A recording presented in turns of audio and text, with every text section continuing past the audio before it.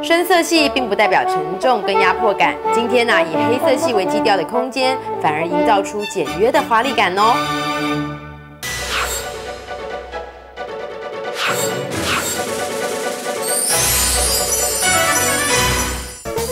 擅长现代简约、低调奢华，为屋主量身定做的独特风格，张欣设计师要带我们进入今天的幸福大视野。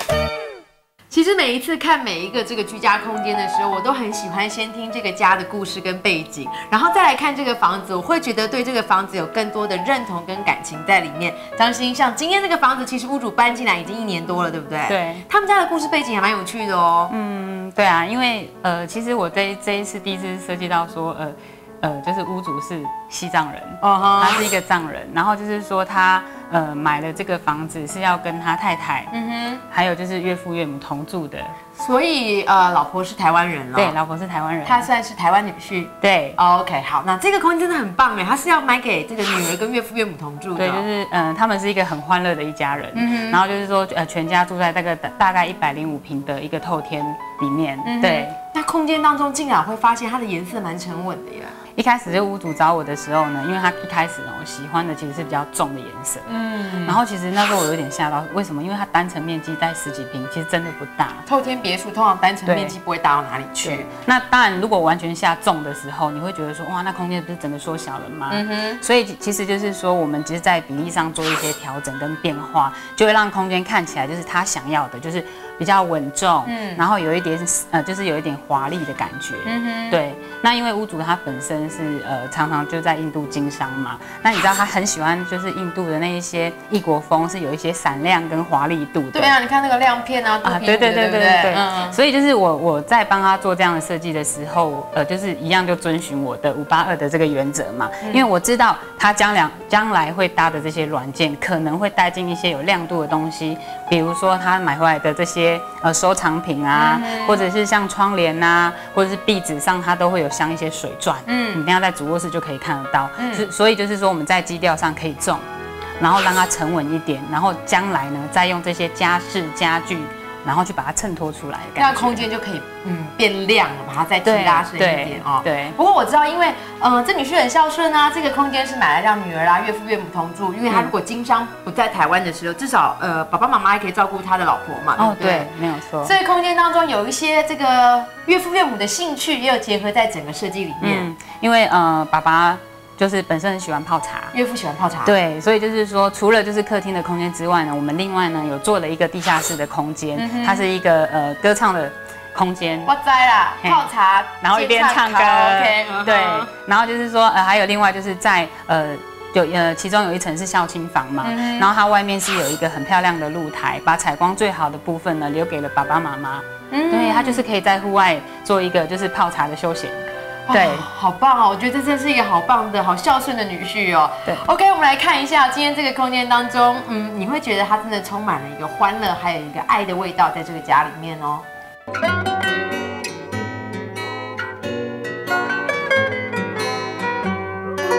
其实我们要看，因为它是个透天别墅哦，所以它每一层的功能其实是明显的。像这一层，我们客人进来一定是在这边嘛。不过玄关的功能，大部分我刚刚看到是整合在楼下的部分，对因为车库。它这边的条件其实就是说它没有一个比较明显的玄关，嗯所以就是说当初我在想这电视墙的时候也还蛮伤脑筋的，嗯所以就是说我。就是让玄关一进来的时候，它其实是做了一个 L 型的转弯，让电视柜的墙面是做延伸的感觉。嗯所以就是说这边我就进来做一个端景的一个借景嘛。嗯然后它常常时常出入的部分，它是在楼下的这个车库的部分，所以大量的鞋柜呢，我们就设置在楼下。那我就是在电视柜做了一个简单的鞋柜的设计，比如说客人来啊，里面放了一些地板拖鞋，嗯哦，在这边做设置。其实这样也不错，虽然它的玄关跟功能还有大部分使用是整合在楼下车库的部分，但开门一进来，我至少看到这边还有一个像是简单的视觉焦点跟端景。因为我没有，并没有把它明显的切割，说这一定是玄关或这一定是电视主墙，我是让它做了一个整体的设计。其实通常我们在空间当中看到黑色系或是白色系，这是最能够呃做层次的颜色。嗯，所以我们看到这电视主墙面延伸进来 L 型，你怎么把层次从黑色里面拉出来？嗯，应该在讲说我的设计里面啊，我我通常都会先定调风格嘛，嗯嗯，然后风格以后就说，哎，我要用什么样的颜色、什么样的素材来创造这种风格。比如说，哎，今天这个是呃简约里面带一些华丽度，是以黑色为基调。那我就会用不同颜呃不同黑色的这些材质，比如说你看黑云石，或者是钢刷木皮，嗯好，那你看我们现在就是电那个电视主墙，它就是用一个黑云石的石材，它是比较一个细腻的石材的那种呃那个面。精致的感觉，精致的感觉。那底的话，它是那个钢刷木皮的一个粗糙面，它两个的层次的反差，会让那个空间的层次是变得比较漂亮的。所以同样是黑色的部分，除了在层次上看得出来，其实它那个精致跟粗犷也有那种对比的那个效果。对，那我们这样黑云石一直从墙面一直延伸到整个这个呃台度的感觉。嗯。然后就是说我在进来地方还有做一个斜切角，因为它的门开的问题。哦。然后就是说整个切角这样一直拉拉拉拉过来的感觉，你就会觉得说，哎。这个电视墙它其实本来可能它的宽度大概只有这样子，那我因为用一个 L 型的台面做转折以后，你会发现它的视觉跟墙面的感觉，它整个主墙是延伸的。觉得电视主墙的墙面的宽度放大了，放大了，对，没错。接着我们来看到客厅当中哦，张欣用了一些视觉上比例的原则做调整，也因此呢，这个空间虽然呈现是比较黑、比较深色的色系，但感觉不压迫。嗯，对，因为当初这个屋子的那个平数虽然单平它没有那么大嘛，嗯，可是就是因为它的高度是够的，嗯，所以就是说如果高度够的时候，你我们嗯墙壁压一些重色，然后再把就是我们我们现在天花板有做一些层次跟线条嘛，然后让它节节的往上拉伸。其实，如果你要做重色，这样子是 OK 的。那我问一个问题：假如今天我的挑高房子挑高没有那么高的话，是不是你可能会在空间的黑色系就会拉低一点比例了？对，就是去调整它的比例，让空间的层次是，应该是讲说，我们去切割它的空间的那个呃。比例色块色块，然后让它的比例是正确的，你看起来的那个视觉效果就是 OK 的。另外，在沙发背墙的部分，可能观众朋友从镜头上看起来，它就只是一个很素雅的颜色，但是你要知道，这个颜色在挑的过程当中，它其实是有很多考量在里面的。嗯，对，因为它其实。它的木作跟石材比重，它这都是深色的嘛，所以就是说我在墙壁的部分，我就用了一个暖灰色的色系去做它一个中间色。嗯，那这个暖灰色跟深色接接在一起的时候，它就不会觉得很明显的被切开，它会比较柔和一点。如果用呃白色的话，可能就呃它就是黑白两段的感觉，对，黑白对比会比较重。那它中间的一个，我就希望说它看起来有一点呃。糊掉的感觉，一个模糊地带的那种颜色的感觉。那如果说我们在沙发背墙，因为其实它的环场的呃深色我们比重已经有了，那我就会希望说在沙发背墙的颜色它是比较干净的，比较简单的，所以我们没有给它太多的就是设计。我们从哪里？从它的家具。那像家具的部分，就是说我们可能除了黑色的沙发之外，我们可能挑了一些大概有带银色的、有点亮度的感觉，去呈现它一个华丽度，它整个感觉就不会就是很沉重的黑，整个压下去。那譬如说我们可能在软件的选择啊，譬如说抱枕，我们有一点呃就是花有点线条的感觉，包含沙发那个窗帘，它会有一点点就是呃底纹出来，它就是从深色里面它带一点点就是华丽的线条。让它看起来层次出来，这样就 OK 了，就不会感觉是那么沉重了。是啊，所以你知道一个空间当中，虽然我虽然以这个比较深色的黑色系为主，还是必须要跳一点辅助的一些元素跟条件，空间才会有那个层次感出来。不然老实说，进来空间颜色这么重的话，一般人都会觉得有压迫的哈。对。其实从一开始我们就提到，像这样子的透天别墅，它单层的面积其实不会很大，可是呢，你空间要怎么做出？大宅的气势呢？嗯，大宅的气势来说的话，其实我们常运用到就是一个比例跟对称的条件。嗯，那所以就是说，虽然这个餐厅的空间它虽然不大，所以我就是在墙面上它都是做了对称的设计，嗯那它空间的感觉是会比较稳定的。那我们现在讲说餐厅的空间，我们以呃，我会做一个主从的设计嘛。所谓主就是所谓主墙，嗯，那像我们背后就是所谓餐厅的主墙。那餐厅的主墙呢，我运用的材质，它也是采采就是采用对称的设计哦。那我运用材质就是石材，嗯，黑镜、黑色的钢刷、黑色的木皮，就就是你会看到说我所有的。整整个所有的材质其实都是已经在这里表现了。你黑色的元素会运用到的材质，其实这个墙面主墙面已经都说明了，都看到了。对对。那你看这一面的那个呃玻璃柜的墙面呢？因为我们讲主从嘛，所以我在这个玻璃柜其实给它的线条并不是这么多，嗯，就是让它黑色面积很简单的带过。那我们在左边的对称设计的部分呢，它就是进楼梯间，嗯，那右边呢就是进厨房，它就是一个黑色的木皮的墙面，很简单带过。其实老实说，因为这样子的。的墙面，你又是到顶，然后没有什么线条跟接缝，我反而会觉得它是一个完整的墙面，就不觉得你其实隐藏了两个门片的动线在里是面了。没有错啊。那因为呃我们在做这个设计的时候就知道说，哎，其实他在印度经商，他其实喜欢有一些亮度的东西，他也会买回很多的收藏品。你看那个那个那个杯子跟那个壶的那个茶具组啊，对还是喝咖啡我不知道，但我觉得它就很印度的味道哦。其实他收藏的东西真的很有异国风味，嗯所以我给他的基底一定是会很简单、很干净的。比如说我给它呃灰色的镜面底，嗯然后呢就是黑色的木皮框，然后去做一些层次上的那些对应。那我们在这个圆桌的空间，比如说他六到八个人用餐嘛，那我们选了一个圆桌，圆桌其实就可以让那种譬如说有豪宅的气氛啊，还有一个就是餐厅的精致度，透过圆桌来表现是更好的。然后再加上就是哎上面的水晶灯。哦，水晶灯的这个 bling bling 感有对称到它收藏品的感对觉。，那其实这就是呃深色的基底，然后有一些就是亮度，嗯，然后来呈现整个就是华丽的质感。就是一个亮哦，一个深，加起来 balance 除以二十六，就是像你现在看到的空间感。对，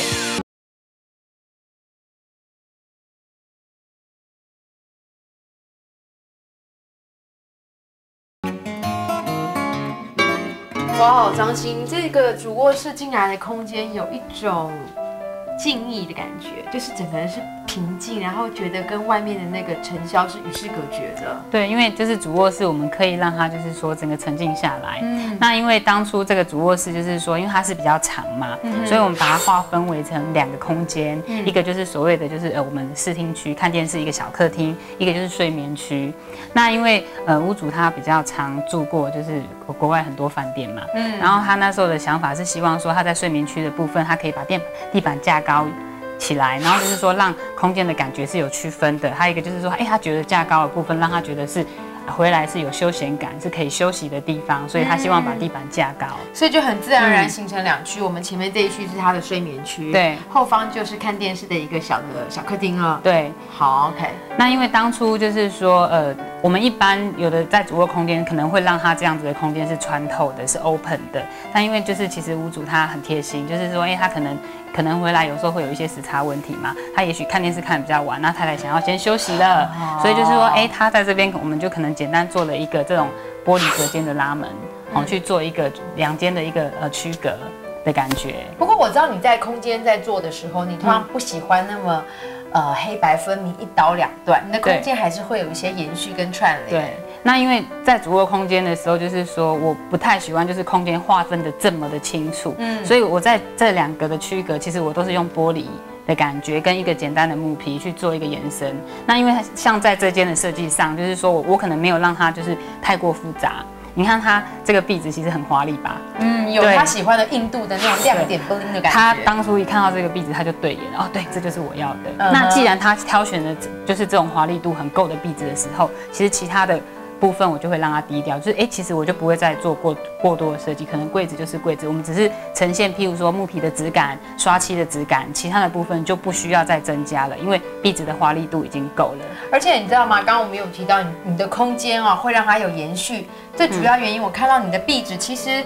在我这样这个小的起居室有贴，而且它是延伸到主卧的这个空间的。对。我就是一进门以后，它等于是从沙发背上一路延伸到主卧空间。那我只是在这两个空间，一个简单的玻璃就区隔开来了。嗯，那你会发现，哎，壁纸整个延续拉过去的感觉，你就会不会觉得说，哎，这个空间是被隔死的。通常哦，我们会我的照一般的知识的概念，会把木木做的部分是贴墙壁，对，然后可能玻璃的这个部分是在搭接在这边，对。可是你刚好是这样反过来的原理，对让它的就是玻璃会，就是玻璃，你还可以看看得到，因为，壁纸就整个拉过去的感觉。嗯，所以空间这样的设计手法就是不会这样被一分为二，那么干净清楚，感觉好像是不相干的两个空间了。嗯，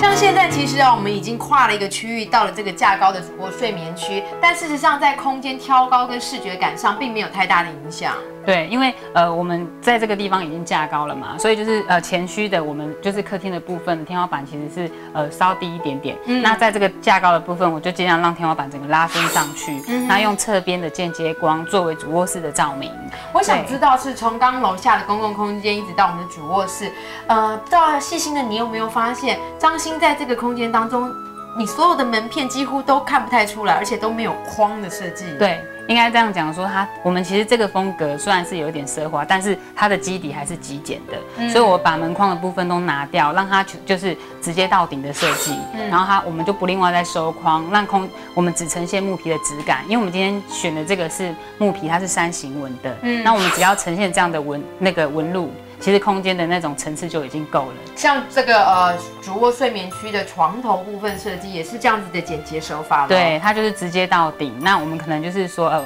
屋主在买这张床的时候，他可能就是买诶有一点弧线条，有点华丽度去衬托。然后我们可能在左边、右边，你看我我用的那个灯的方式很不一样吧？你你跳脱一般人的概念，认为主卧床头两边一定要左右对称。对，就是呃，我一边让它就是吊灯，一边让它是立灯，然后它都会有点华丽度，让这个黑色基底的层次出来，这样就 OK 了。这样就 OK，就是画龙点睛，这样叮一小小点就够了，对不对？那因为我们在睡眠区区，其实它已经是要休息了，所以就是说，呃，我承袭了楼下上来的一些黑色、灰色的基调。来做整个空间的诠释。那我们可能在吊灯啊，或者是窗帘，它有一些华丽度，去让主卧室的那种层次跟那种呃精致度出现。那其他就让它低调。我觉得你的空间没有、没有什么是要做 over 或过多的，就是刚刚好到那个味道，然后氛围有出来。所以你会看，你现在看是这样，十年以后呢？其实它还是会维持这样的设计感，对不对？对，因为你像这个空间，它已经住了一年多了，嗯你来看它其实都还是维持的很好，然后就是说它的空间还是一样那么耐看。嗯对，所以简单的东西，然后线条跟比例原则抓得好，那才是一个值得呃，我去细细品味，然后很耐看的空间。对。